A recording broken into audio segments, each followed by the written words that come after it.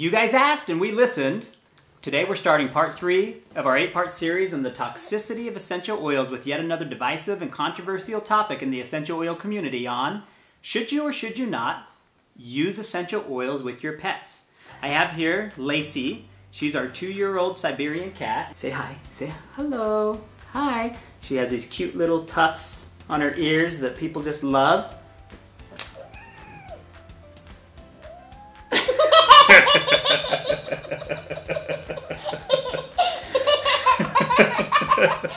Okay, this might be harder than we thought. Okay, can we try it again? Here, have some food. And who are you holding? Bella. Bella. Do you know how old Bella is? She's 13. Bella is our uh, three pound toy Maltese. And uh, we actually use essential oils on a regular basis in our home. Uh, if you've seen some of our past videos, you've seen those videos and as we've discussed ingestion, as we've discussed traveling with essential oils, as we've discussed how we use them personally with our family. But today we're going to talk specifically about essential oil usage with pets.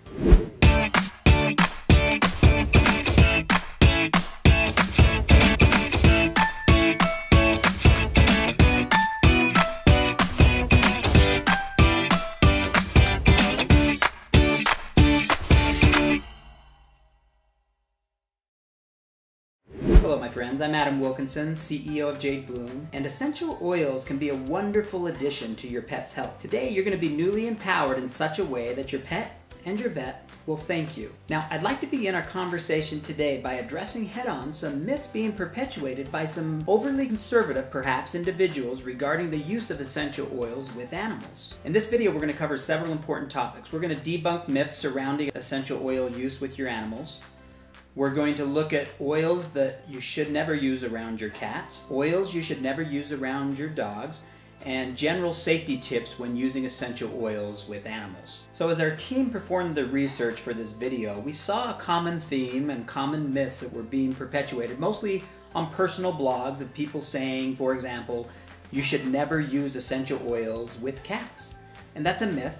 We're going to debunk that. If that were true, cats would be dropping dead all over the world as essential oil usage is pretty high with people that have feline friends at home. Now, to be fair, I think the conservative approach comes from people wanting to keep their animals safe. That's a fair point. We love our animals, we want to keep them safe, but essential oils can provide a wonderful additional health benefit for your animals if you are careful and know what to do, which oils to avoid. We're going to empower you with all of that information today. As with any controversial essential oil practice, such as ingesting essential oils that we covered in our recent video on ingestion, education, and science-backed research are key in making the right decisions. Now, I first became interested in this topic when we welcomed a new addition to our household, Lacey, that you met earlier. I would have held her for this shot right now, but as you saw earlier, she's not in the best mood, and I'm not going to push that with her. But she was a six-month-old kitten, I had heard the controversial what science backed research had to say about essential oil usage with cats. You know, even though we, we did have an animal already in the house, Bella's been with us now for 13 years, she didn't really ever come in contact with the oils or we weren't applying oils to her directly. We do diffuse oils from time to time. Uh, in different rooms of the house, but it's not a regular practice, and we do take a break even from the diffusing.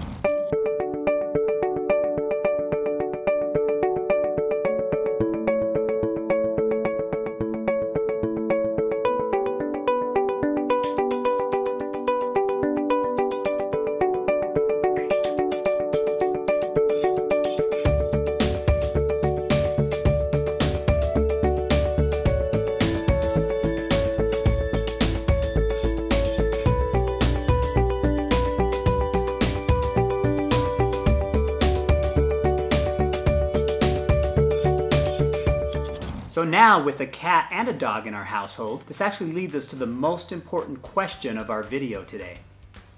Are cats better than dogs? The answer is a resounding yes. Okay, before I start getting hate mail, let me just say I'm 97% kidding, but when it does come to essential oils, one of our domesticated animals is a lightweight, and that would be our feline friends. Okay, Bella's been sleeping back here behind me, and I just realized I might have offended her with my comment from earlier, so I just wanted to apologize and tell her I'm sorry. Look how cute she is anyway. I would never want to hurt her feelings. You're just as good as Lacey, okay? One of you isn't better. So as we stated before, if it were true that essential oils should not be used around cats at all, cats would be dropping dead all over the place, and that just isn't happening. So let's take a look at the safety information that we need to understand. First, let's look at cats, and then we'll take a look at dogs. Now, that's not to say that extreme care and caution shouldn't be used when using essential oils around your animals, because there are plenty of instances where essential oils have harmed animals. But just as with the cases of ingestion that we reviewed in a previous video, each of those incidences of injury to animals was because an inappropriate amount of oil was used or an inappropriate oil was used in an inappropriate way. Robert Tisserand actually addresses this himself in an article addressing the use of essential oils and cats. So here's a fun fact. Robert Tisserand actually has a cat named after the essential oil myrtle. It's so cute, right? That actually kind of makes me feel like we missed an opportunity when adorning our adorable kitty with the name Lacey. Lacey, do you consent to a name change? Okay. You shall now be called Spikenard, and your abrasive new sounding name that evokes memories of an overbearing aroma will finally garner you the fear and respect you deserve in the animal kingdom, my ferocious feline friend. I love this kitty. She just doesn't like to snuggle. That's her only problem. She's fine, see? If I'm here, no, no, we're not playing. You're, I'm just petting. I'm here, okay. But it's when we try to snuggle, we get smacked in the face. Okay, I'm sorry. I'm sorry. This is going down. Okay, goodbye. She's done. Okay, everyone say goodbye to Lacey and all her fur. Anyway, so Robert Tisserand and his cat Myrtle have a history of essential oil use together, and he actually discusses a specific essential oil that's a little alarming considering this oil shows up often in injury reports in cats, and that's tea tree. He says, I did use tea tree oil on Myrtle once when she had an infected puncture wound. I squeezed out the pus and dripped one drop of tea tree oil into the hole. I repeated this treatment over the next two days, and she healed up fine after that. However, an overdose of tea tree oil could be lethal to a cat.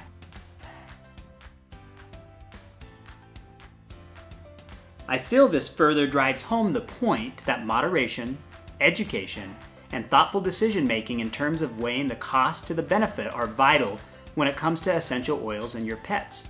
The reason that cats require a little more care in terms of the oils you decide to use on them or around them is due in part to their size, but mainly because cats lack the major phenol UDP glucuronosyltransferase UGT enzymes. Whew! That was a mouthful. Now, for the layman, which I most definitely am, Cats are deficient in a number of chemical conjugation pathways in their livers that can lead to relatively slower elimination of certain chemicals, making them much more sensitive to essential oils than humans and their canine counterparts. Which is why one essential oil that might be safe for your dog may not be safe for your cat. So now here's a list of oils you want to avoid using on or around your cat. But remember, even tea tree, as referenced by Robert Tisserand earlier, can be safe if used appropriately in terms of dosage and application. This list of oils to avoid for cats comes directly from the Pet Poison Helpline.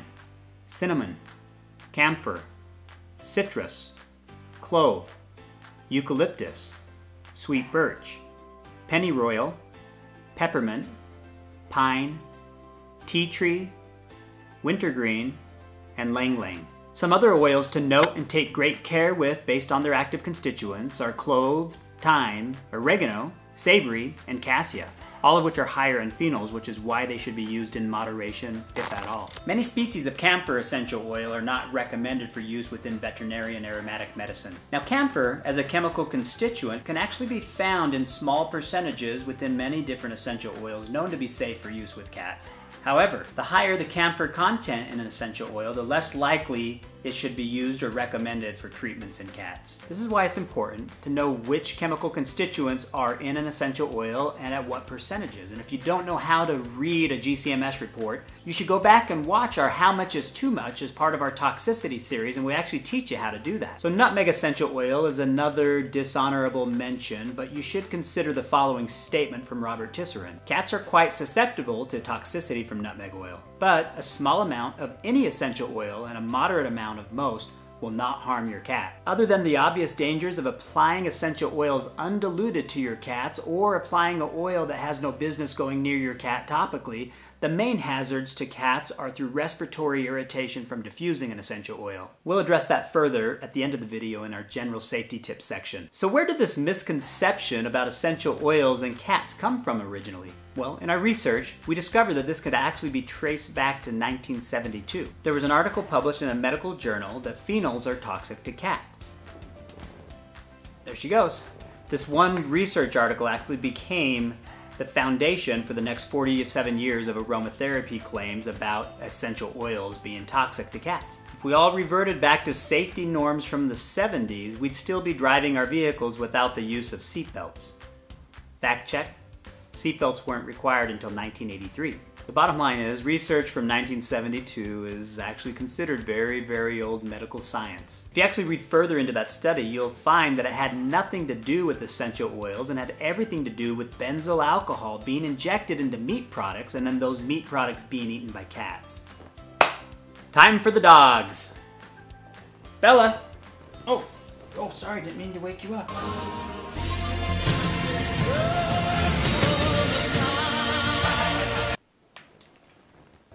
It's now time for the doggy do's and don'ts. I just said doggy do. I'm immature, sorry. This list may be shorter, but it doesn't make it any less important because dogs can be cool too. Right, Bella? I guess. You get it? You got it? Good job. The following oils are listed by the Pet Poison Helpline as toxic to dogs. Pennyroyal, pine, tea tree, wintergreen, and birch. Bella just left me. She got bored, I guess. Scarlet left me, Bella left me, Lacey left me. But you haven't left me, and that's what's important. Thank you. Oh, maybe she's coming back. She heard her name. Come on, Bella. Jump. Here she is. Okay, good girl. She's switching sides. Boring over there. Here we go. So we talked a little bit about what to avoid with essential oils for cats and dogs. Let's talk a little bit about why use essential oils at all with your animals. Essential oils are great for calming, great for fleas. You can help treat skin conditions or wounds. In fact, there are some additional scientific studies that I'll include below showing how essential oils can treat certain skin fungi for cats and dogs. For instance, seborrheic dermatitis is a common skin condition where the greasy areas of your skin become inflamed or irritated. Now this can also affect the ears of your pets, and the following PubMed study concluded that some essential oils can be used to be an alternative treatment for your pet's ears. So now as you begin exploring which essential oils you would like to use for your cat or for your dog, Let's go over some general safety tips to help keep them safe. When running your diffuser in your house, moderation is key and the same care and concern you would take for small children, you should also take for your small animals. Intermittent diffusing is key. You certainly don't want to run a diffuser 24 hours straight. This is going to do more harm than good and it's going to waste precious oil. So we recommend 15 minutes on, 15 minutes off when it comes to diffusing around your small pets. Here are a list of some physical symptoms you should watch out for when diffusing. Watery nose or eyes, evidence of burning sensation in the nose or throat, nausea leading to drooling and or vomiting, labored breathing, fast breathing, panting, coughing, wobbliness, low heart rate, or low body temperature. So, balance is key. Too much of a good thing is entirely possible.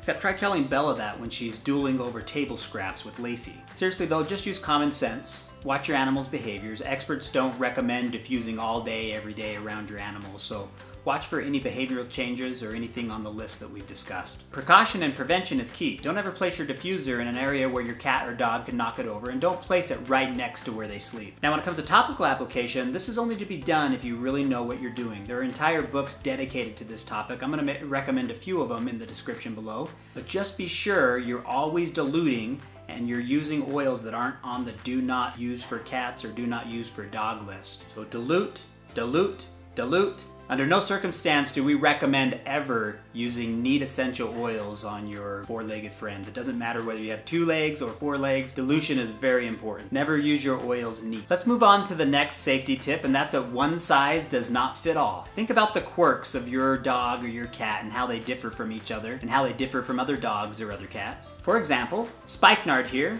the artist formerly known as Lacey, gets the case of the zoomies around 9 o'clock each night where she appears to be running for her life or chasing after her own tail. We can never figure it out, but it's pretty consistent, it's pretty cute. And Bella has her own weird cuteness as well, where she can't eat her food in the bowl or on something hard.